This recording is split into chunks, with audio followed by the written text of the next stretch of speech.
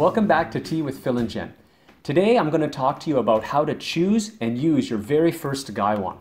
This video is going to be especially interesting for those of you who have always wanted to get into Gongfu brewing but just didn't know quite how to choose a Gaiwan. And if you have a giant Gaiwan collection, don't worry, we've got lots of great info for you as well.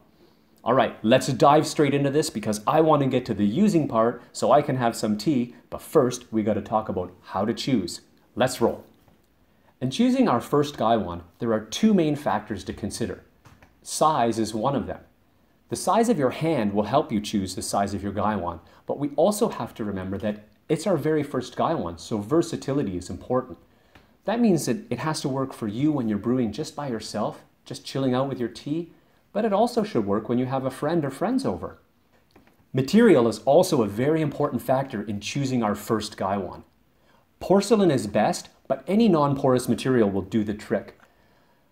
Porous materials like unglazed earthenware or pottery actually affect the aroma of the tea.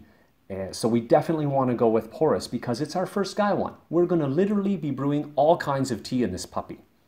Also, the color matters. Ideally, the inside of the Gaiwan should be white or at the very least, a light color.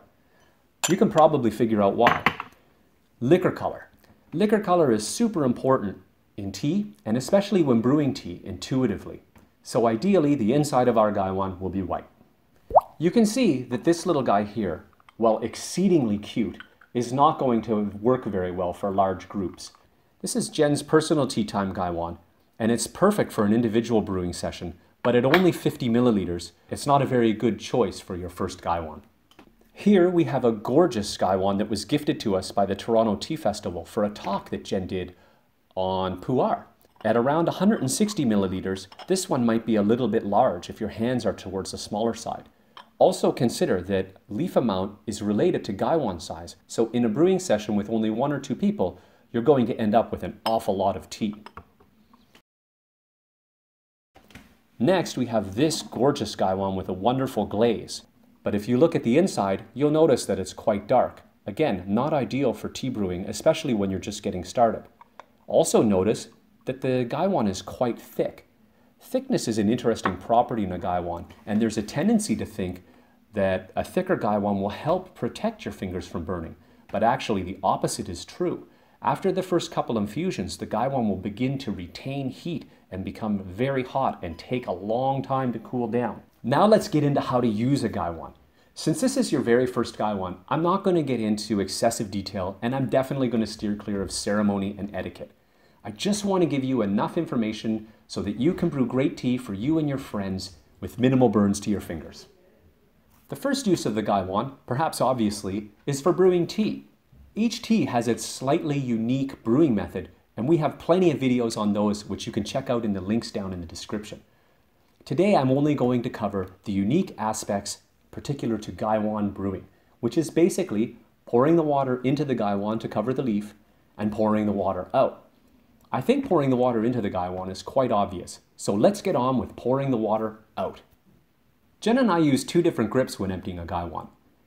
Jen's grip has the advantage of only needing one hand and it looks something like this. You can play around with the exact grip you use, but the idea is that your thumb and middle finger, or maybe your middle and ring finger, grasp the edges of the Gaiwan. Be careful not to reach down to the walls of the Gaiwan because they will be piping hot. Keep your fingers on the edge. That's where the Gaiwan will be coolest. The exact position of your fingers isn't all that critical. Some people like to put their index finger into the lid. I myself prefer to lay my finger down on the lid. So you'll start by giving the little little tilt, grasping it whatever, however works for you, and pour out your tea. If you're really concerned about burning yourself, you can always practice with cool water, work your way up to boiling water without using tea. The grip I use was recommended to me by Jen's mom.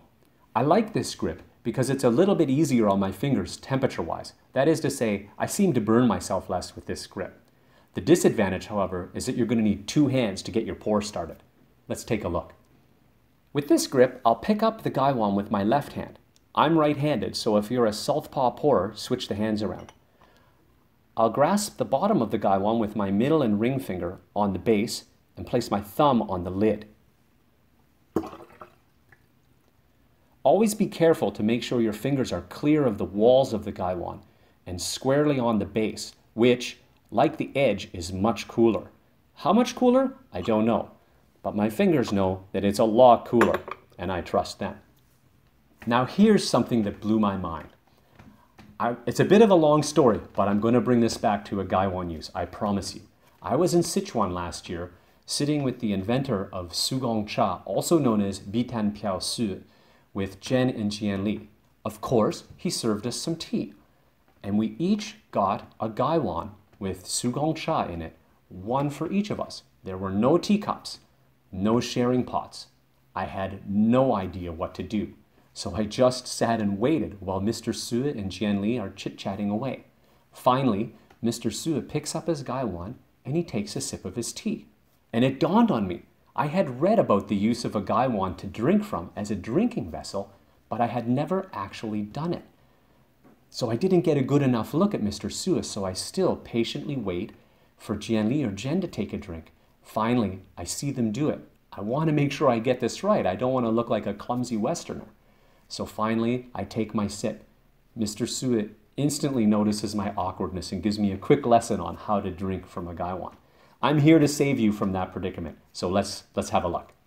With this method, unlike our other methods, we're going to pick up the whole gaiwan, including the saucer.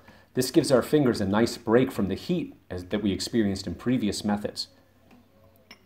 Once the lid is open, you may notice that there's a bunch of leaf floating around on the surface of the liquor. If that's the case, you can use the gaiwan lid to gently encourage them away from the area where you're about to take your sip.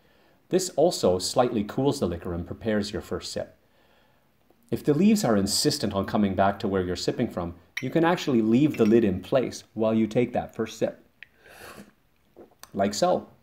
And once they've all sunk to the bottom and your liquor is sufficiently cool, you also have the option of simply sipping from the gaiwan like this.